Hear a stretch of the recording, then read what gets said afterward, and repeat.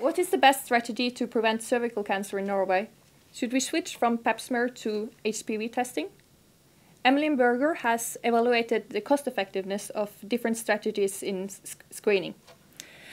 Uh, could you first explain what is, is HPV and what is the difference between pap smear and HPV testing? HPV is a very common sexually transmitted infection.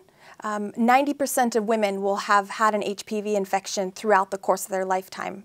Most HPV infections will go away on their own but many can stay around and what we call they'll persist. Mm -hmm. So um, a persistent HPV infection has been implicated in cervical cancer and is the main cause of cervical cancer.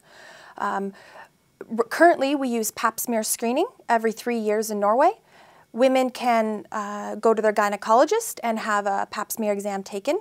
Uh, HPV testing is taken in the same, same manner. HPV testing can also be taken at home, so it might add an additional benefit for some women who might not want to attend a gynecological exam. Can you explain why there has been some controversy regarding switching to HPV testing in Norway? Um, I think cervical cancer screening has, has been so beneficial through the use of pap smear screening that many countries around the world, including Norway, are very hesitant uh, before they switch to primary HPV testing. Mm -hmm.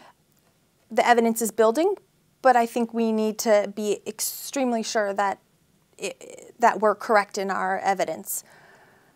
Um, also, how do we inform women that they're positive for a sexually transmitted infection? Prior, we just informed them regarding whether they had cellular changes. Now we're actually informing them explicitly whether they have a sexually transmitted infection.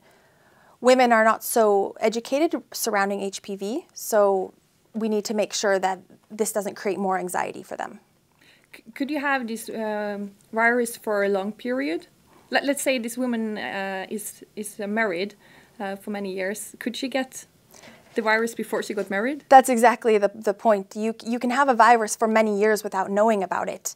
And then you go for, and you've been in a relationship with a monogamous partner, and you can go and you can detect HPV. But without knowing that you can have had the infection for a long time, some women might start questioning where they con contracted this infection. Could you tell me about the results you got from your analysis?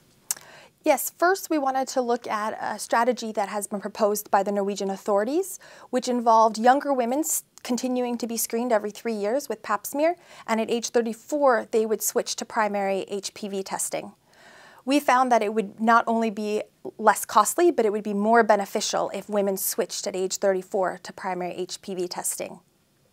And, and secondly, we wanted to analyze whether you could switch even earlier and if it would be beneficial. We found that you could actually switch at age 31 to primary HPV testing and continue up until age 69.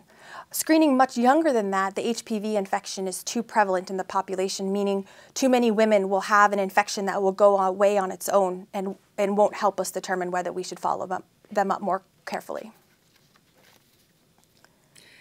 You've used a mathematical mod model uh, to uh, for your anal analysis. Uh, how does this relate to the reality? It's a good question. We have um, used a mathematical model which models the natural history of cervical cancer. We use input data from the Norwegian Cancer Registry and from Norwegian-based studies to try and uh, simulate what happens actually here in Norway. So model-based analyses are never actually what's happening in real life, but we hope that they're as close as we can come and they're a great way to analyze uh, many different strategies concurrently that you couldn't do within a real clinical setting. Thank you.